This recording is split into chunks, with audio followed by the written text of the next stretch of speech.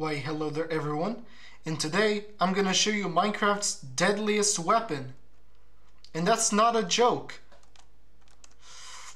It's the mace. It has breach 4 wind burst free and density 5 and this is all vanilla Minecraft.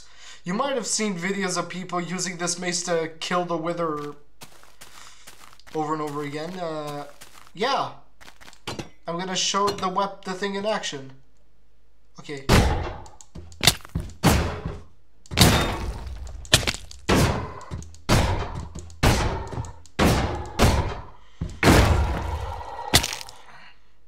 Okay, I killed the golem, but uh, yeah, that didn't go as well as I planned. Uh,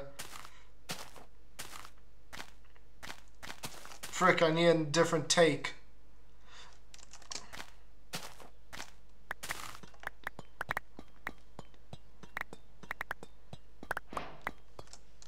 Okay, so goodbye.